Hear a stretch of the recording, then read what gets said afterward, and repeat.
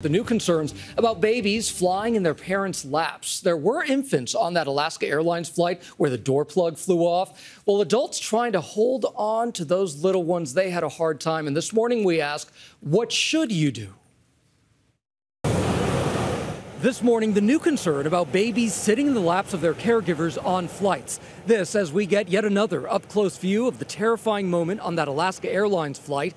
A passenger sitting in the row behind the door plug that flew off, recording a man sitting closest to the opening being pulled by the force. On the plane, three babies in caregivers' laps. The NTSB has long recommended and the Federal Aviation Administration has long recommended and Alaska Airline on their website also recommends for caregivers or those accompanying infants under the age of two to purchase a seat for that uh, infant. While airlines have permitted babies under two to sit on an adult, the industry urges parents and caregivers that children are safer in their own carrier strapped in properly.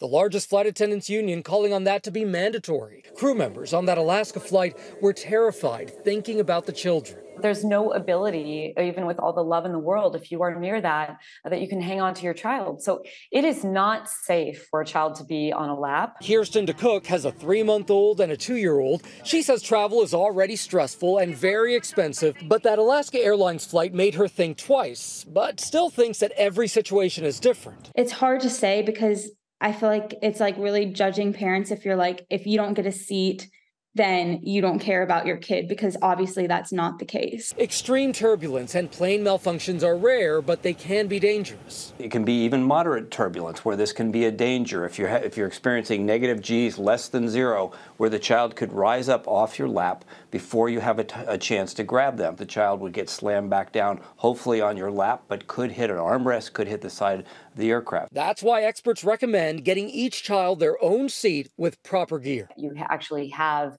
a seat for every single person on board, including infants, and that they are in a proper device for sitting in that seat, such as a car seat strapped in properly.